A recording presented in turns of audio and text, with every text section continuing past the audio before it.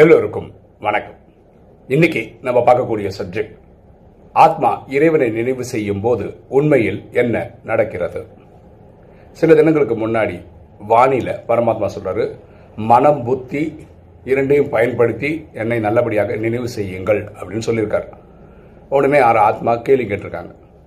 ஆத்மாவை ஆத்மா இறைவனை நினைவு செய்து அப்போ இறைவனை நினைவு சொல்லும் செய்யும் போது மனசோட பங்கு என்ன? புத்தியோட பங்கு என்ன?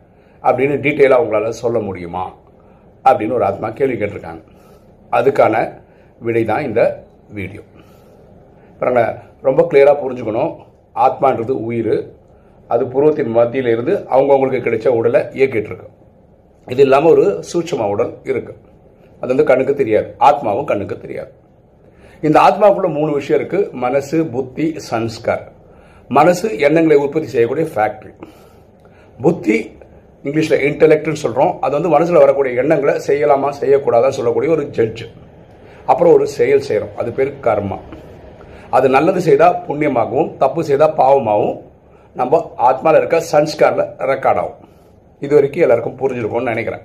ஓகேவா ஆத்மாவின் தந்தையை ஆத்மா நினைவு செய்கிறது புத்தியை பயன்படுத்தி தான் ஓகேவா அப்படி புத்தியை வச்சு பயன்படுத்தும் போது பரமாத்மா நினைவு பண்ணும்போது ஆத்மாவில் இருக்க புத்திக்கு ஸ்ட்ரென்த் வருது. ஓகே இங்கே மனசுக்கு என்ன ரோல் பரமாத்மா வானிலை சொல்றாரு மனம் புத்தி இரண்டையும் பயன்படுத்தி என்னை நினைவு செய்யுங்கள் சொல்றதோட அர்த்தம் என்ன? அப்படின்னு பார்த்தீங்கன்னா இப்போ அமிர்த வேலை நாலு நாலு முக்கால் அந்த டைமில் நம்ம நினைவு பண்ணுறோம்னு வச்சுக்கோங்க.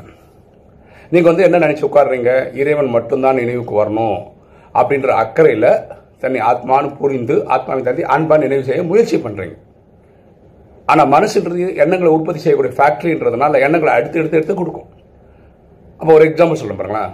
நீங்கள் நினைவு பண்ணும்போது இறைவன் நினைவு பண்ணி உட்காந்துருக்கீங்க ஆனால் உங்கள் வீட்டில் இருக்கிற அப்பா உங்களுக்கு நினைவு வருதுன்னு வச்சுக்கோங்க. அந்த டைமில் அப்போ அந்த எண்ணத்தை கொண்டு வந்தது யார்? மனசு. அப்போ புத்தி என்ன சொல்லணும் மனசு அப்பாவை பற்றி யோசிக்கலாம். மெடிடேஷன் முடிச்சிடலாம். நாளை முக்காலுக்கு அப்புறம் யோசிக்கலாம் அப்படின்னு சொன்னீங்கன்னு வச்சுக்கோங்க. மனசு வந்து கட்டுப்படும். ஓகே இப்போ வேண்டாம்னு சொல்கிறாரு நம்ம அப்புறம் பண்ணிக்கலாம் அப்படின்னு. நீங்கள் இறைவனை நினைவு பண்ண ஆரம்பிக்கிறீங்க. கொஞ்ச நேரத்தில் அம்மாவோட நினைவு வரும். அப்போ ம- புத்தி வந்து என்ன பண்ணோம்? மனசுக்கிட்ட இல்லை அம்மாவை பற்றியும் மெடிடேஷனுக்கு அப்புறம் பார்க்கலாம்.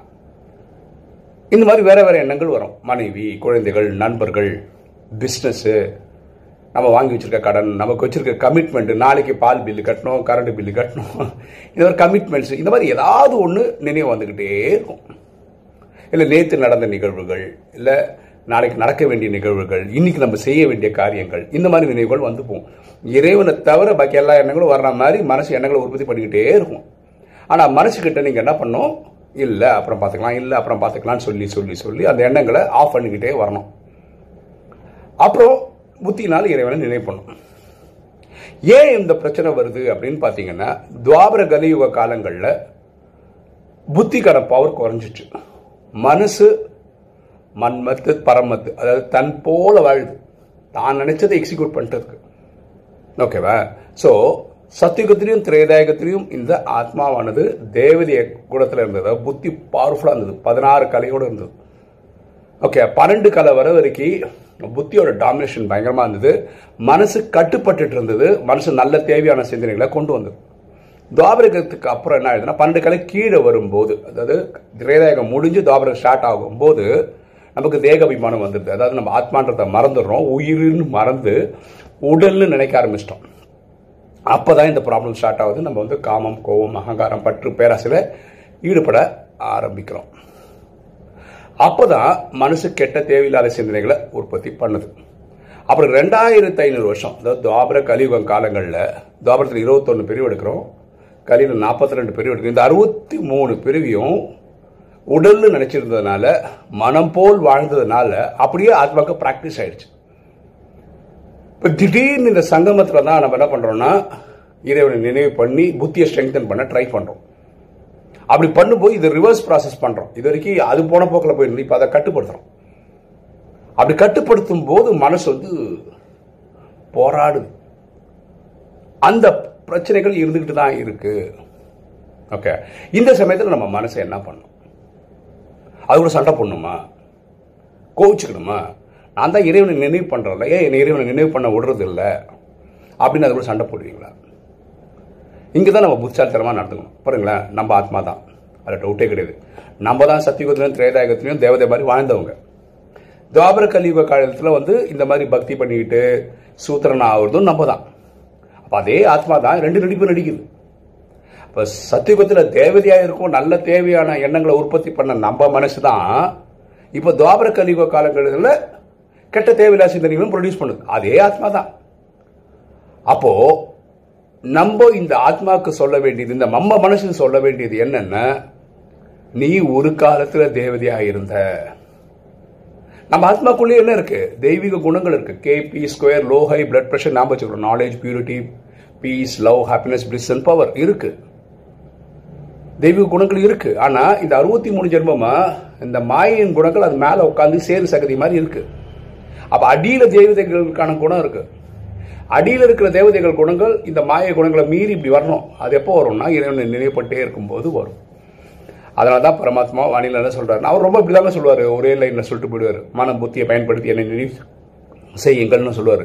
அப்போது மனசுக்கு என்ன ரோல் புத்திக்கு என்ன ரோலுன்றது நீங்களும் நானும் தான் ஆழமாக போய் புரிஞ்சுக்க ட்ரை பண்ணும் ஸோ இறைவனை நினைவு செல்வது ஆத்மாவில் இருக்க புத்தி தான். மாற்றுக்கிற மனசு இறைவனை நினைவு பண்ணுறது கிடையாது. மனசு எண்ணங்களை உற்பத்தி பண்ணுது. ஓகேவா அப்படி மனசு எண்ணங்களை உற்பத்தி பண்ணி கண்ணா முன்னாடி கொண்டு வரும். அது புத்தி தான் தட்டி கொடுக்கணும். இல்லை பாருப்பா இப்போ வேண்டாம். நல்ல நல்ல எண்ணங்களை உற்பத்தி பண்ணுவோம். அப்போ போக போக போக போக போக நீங்கள் நல்ல யோகா பண்ண ஆரம்பிச்சிட்டிங்கன்னா உங்களுக்கு இந்த தேவையில்லாத சிந்தனைகள் இருக்காது. ஆனால் இது வந்து ஒரு நாள் ஒரு நாள் லைட்லாம் வராது. அவர் பாருங்க கரமாத்தித்த அவஸ்தைகள் வரும்போது தான் மனசு அலைப்பாயிருது கட்டுப்படும்ன்றார். பரமாத்மா சொல்கிறது பாருங்களேன் இப்போ படிக்கிற பசங்க இருக்காங்கல்ல நல்லா படிக்கிற பசங்களுக்கு வந்து புக் எடுத்தால் ஃபுல்லாக அதிலே கான்சன்ட்ரேஷன் படிக்க முடியும்.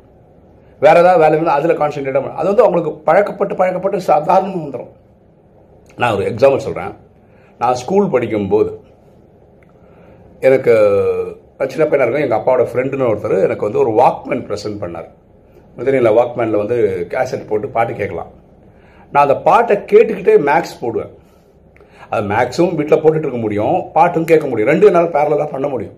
எங்கள் அப்பா திட்டுவார் நீ படிக்கிறியா? பாட்டு கேட்குறியான்னு நான் சொன்னால் மேக்ஸுக்கு மட்டும்தான் நான் அதை பண்ணுறேன் அப்படின்னு.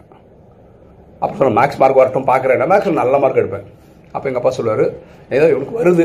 பாட்டு கேட்டுக்கிட்டே மேக்ஸ் போடவும் வருதுன்னு வரும் இந்த காலத்து ஜென்ரேஷன் என் பொண்ணுங்க அதோட பயங்கரமாக இருக்காங்க. அதாவது இங்கிலீஷு தமிழ் இந்த மாதிரி வேறு சப்ஜெக்ட் படிக்கும்போது எனக்கு மேக்ஸுக்கு மட்டும்தான் வரும். அப்போவே பாட்டு போட்டுன்னு படிப்பாங்க. நான் வந்து உடனே புக்கை வாங்கி அதில் கேள்வி கேட்டால் டான் டான் டான் பதில்னு சொல்லுவாங்க. அப்போ நான் அதுலேயும் கான்சென்ட்ரேஷன் இருக்குது பாட்டிலையும் கான்சென்ட்ரேஷன் இது ப்ராக்டிஸ் நமக்கு வரணும். ராஜயோகிகளுக்கே வரணும். ஓகே ராஜயோகத்தில் என்ன சொல்லணும்னா கர்ம யோகம் அப்படின்னு சொல்கிறோம் கர்ம கர்மம்னு நம்ம செய்யக்கூடிய செயல் யோகம்னா கனெக்ஷன் நமக்கு இறைவனுக்கு கனெக்ஷன் நம்ம எந்த செயல் செய்தாலும் இறைவனை நினைவு பண்ணிட்டே பண்ணணும். ஃபார் எக்ஸாம்பிள் இப்போ நான் உங்ககிட்ட பேசிகிட்டு இருக்கேன். இறைவனை நினைவு பண்ணிக்கிட்டே உங்ககிட்ட என்னால் பேச முடியும்னு வச்சுக்கோங்களேன் இதுதான் கர்மயோகம் நான் பேசுகிறேன்ற ஒரு கர்மம் பண்ணுறேன் ஆனால் இறைவனோட கனெக்ஷனில் இருக்கேன். இந்த வீடியோ கேட்குற நீங்கள் என்ன பண்ணணும்னா கர்மயோகம் பண்ணணும்னா இந்த வீடியோ கேட்டுக்கிட்டே இருக்கும்போது இறைவன் நினைவில் இருந்தீங்கன்னா நீங்களும் கர்மயோகி தான் ஆனால் இது வருதா? ப்ராக்டிஸில் தான் வரும். நீங்கள் நானும் ப்ராக்டிஸ் பண்ண பண்ண பண்ண இது வந்துடும் ஸோ மனம் புத்தி இரண்டும் இறைவனை எப்படி நினைவு பண்ணுறது புரிஞ்சுக்கிறீங்களா? புத்தி தான் நினைவு பண்ணுது. மனசு போக போக போக இறைவனை மட்டுமே ஃபோக்கஸ் பண்ணுற அளவுக்கு வந்துடும் அது வந்து ப்ராக்டிஸில் தான் வரும். ஓகே ஒரு தகவல். கொஞ்ச நாளுக்கு முன்னாடி நம்ம சொல்லியிருந்தோம். ஒரு சகோதரி ஒரு நர்ஸு அவங்க பையனுக்கு வந்து உடம்பு சரியில்லை. பேருக்கே வாயிலே வராத மாதிரி ஒரு நோய் வர போராடிட்டு இருக்காரு அவருக்கு லிவர் டிரான்ஸ்பிளான்டேஷன் பண்ணணும். அது நிறைய பைசா தேவைப்படலாம் சொல்லியிருந்தேன். ஞாபகம் இருக்குங்களா அவங்களுக்கு அதுக்கு யோகா கூட பண்ணணும்னு சொல்லியிருந்தேன். அவருக்கு வந்து நேற்று முந்தாயத்து அந்த சர்ஜரி பண்ணிட்டாங்க. சக்ஸஸ்ஃபுல்லாக நடந்திருக்கு. இப்போ நல்லா இருக்காரு. இப்போ ரெஸ்ட்டில் இருக்கார். ஏன்னா நான் முன்னாடி சொல்லியிருந்தேன். நீங்கள் யோகா பண்ணியிருக்கீங்க. அதோட ரிசல்ட் இப்போ நம்ம கண்கூடாக பார்க்குறோம் ஸோ இது உங்களுக்கு சொல்லணும். அப்புறம் வேற ஒரு தகவல். இப்போ நீங்கள் சமீபமாக பார்க்குற ரெண்டு மூணு நாளில் வீடியோ எப்படி இருக்குன்னா ஆறு மணிக்கு வர்றதில்லை. ஆறரை ஏழு கூட ஆகுது. இதுக்கு என்ன காரணம்னு சொல்கிறேன் எங்கள் அப்பா இறந்ததுக்கு ஒரு நாளுக்கு முன்னாடி நான் வந்து உங்களுக்கே தெரியும் நான் இன்றைக்கி ரெக்கார்ட் பண்ணுற வீடியோ நாளைக்கு உங்களுக்கு வந்து ஆறு மணிக்கு வந்துடும் அப்படி தான் பார்த்துட்டு இருக்கீங்க. அந்த வீடியோவில் என்ன சொல்லியிருந்தேன்னா அப்பாவுக்கு வந்து ஹெல்த்து சரியில்லை நான் கூட்டிகிட்டு போயிட்டுருக்கேன் அப்படிலாம் ஹாஸ்பிட்டல் போகணும் அப்படிலாம் சொல்லி ஒரு வீடியோ போட்டேன். ஆனால் எங்கள் அப்பா காலமாயிட்டார். இப்போ காலமான அன்னைக்கு நீங்கள் எப்படி பார்ப்பீங்கன்னா அவர் கூட்டிகிட்டு போகிறேன் அப்படின்னு சொல்கிற மாதிரி ஒரு வீடியோ பார்ப்பீங்க. அதனால் என்ன பண்ணேன்? இறந்த அன்னைக்கு நான் வேற ரூம்ல இருந்து ரெக்கார்ட் பண்ணதை அப்படியே போட்டுட்டேன். அந்த வீடியோ அந்த போர்ஷனை கட் பண்ணி போடலான்னு பார்த்தா அந்த வீடியோ டவுன்லோட் ஆக மாட்டேங்குது. டவுன்லோட் ஆனாலும் ஆடியோ வீடியோவில் கிளாரிட்டி இல்லை. ஸோ அந்த வீடியோ என்னால் பயன்படுத்த முடியாமல் இருக்குது இப்போ இருக்கிற சூழ்நிலையில் வந்து ஒரு நாளுக்கு ரெண்டு வீடியோ ரெண்டு ஷார்ட்ஸ் வீடியோ போட்டு இதை மேட்ச் பண்ணுறதுக்கு டைம் கிடைக்கல. அதனால வரைக்கும் கொஞ்சம் அட்ஜஸ்ட் பண்ணிக்கோங்க. ஆறு மணின்றது ஆறரை ஆறே முக்கால் அப்படிலாம் ஆகுது. அதனால் தாழ்மையுடன் கொஞ்சம் அட்ஜஸ்ட் பண்ணி போகணும்னு கேட்டுக்கிறேன். ஓகே இன்றைக்கி வீடியோ உங்களுக்கு பிடிச்சிருன்னு நினைக்கிறேன். பிடிச்சா லைக் பண்ணுங்கள் சப்ஸ்கிரைப் பண்ணுங்கள் ஃப்ரெண்ட்ஸுக்கு சொல்லுங்கள் ஷேர் பண்ணுங்கள் கமெண்ட்ஸ் போடுங்க. தேங்க்யூ